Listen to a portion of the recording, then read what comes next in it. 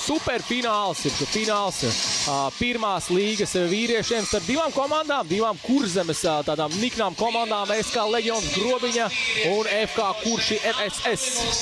Viņš šobrīd tagad izstāsta tikai tagad tādi pirmie lēnām tādi mēģinājumi kaut kā pozicionāli iet zonā un nevis tikai ar vienu lielu skriešanu. Šeit labs Levalda metiens, tomēr pāri vārtiem. Nu, protams, komandas ir pieradušas spēlēt, droši vien realizēt savus momentus, kā jau tas vienam no komandas līderiem pieklājās. Ir arī kā signāls, ka nevajag īpaši aizrauties, jo šādos asos uzbrukumos varbūt negluži gaidītos, bet te mēs sagaidām vārtus.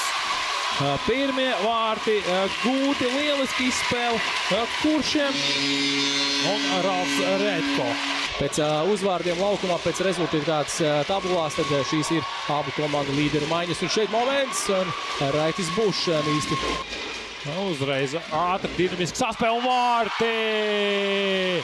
Kas neizdevās pirmajā periodā, tas izdodas otrajā Sandis Lēvalds. No distances labi ievalka. Jā, labi aizsargs.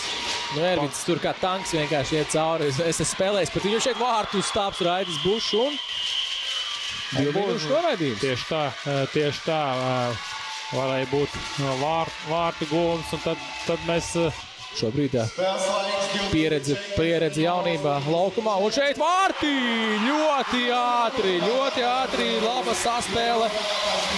Un šeit ir rezultāts 3-0 Raitis Bušs.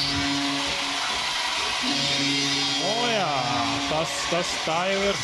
Ne, trešie, trešie labākie vairākumā gluži 24 vārds. Te iespēja vārtu pārliknis. Ko kādu iespēju neizmanto šajā. Līdz ar to ļoti būtiski būt atgriezties spēlē, un tas arī izdodas ar atkārtotu mētienu.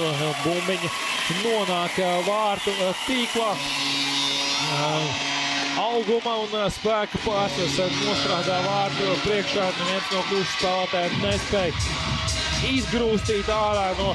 Te jau dežurants ieslē, ieslēdzās 34. numuram Patrikam Bliskam. Un neapmierināts ar pēdējiem notikumiem laukumā. Valters ieņem savu labāku pozīciju. Un šeit un būs soda metiens. Soda metiens tiek soda pēcpils mētieniem. Ir vārdsargs.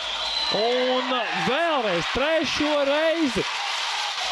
Kurš uzglābja vārtu stāps? Nu, tik ilgi gaidīja, ka. Un šeit iespēja vārti! Diezgan rūpja kļūda, kurš izpildījumā atdeva bumbiņu tiesnes atpakaļ kuršiem, bet šī piespēle. Tā ir tā teikt, metiens, kas brāļs, ka neiek. Tik šeit tāls metiens un 4-2. Ko neizda, neizdod pirms brīža.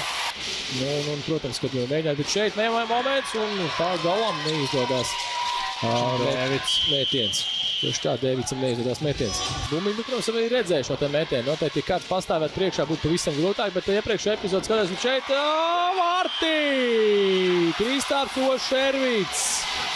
Redzam, cik priecīgs, protams, komandas veterāns. Svarīgā brīdī panākt trīs punktu pārsvaru. Tas jau ir jau diezgan pieder pie spēles. Viņa ir vajadzīga tieši tā, lai pacelt varbūt spēles momentu. Šeit redzam, Aurēs Zukulīs metiens vārtī!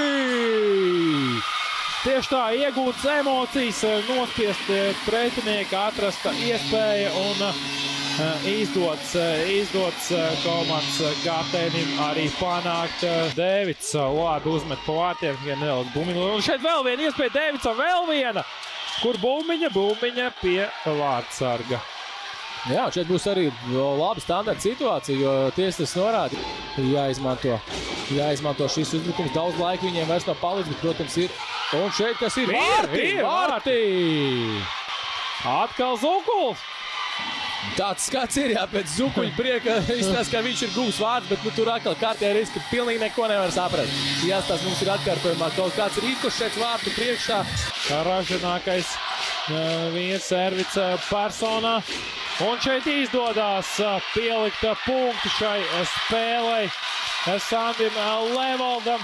Vēl nesen teica, ka nav redzams grobiņai izcīnīt arī panākumu šajā spēlē. 6-4 skan fināla sirēna.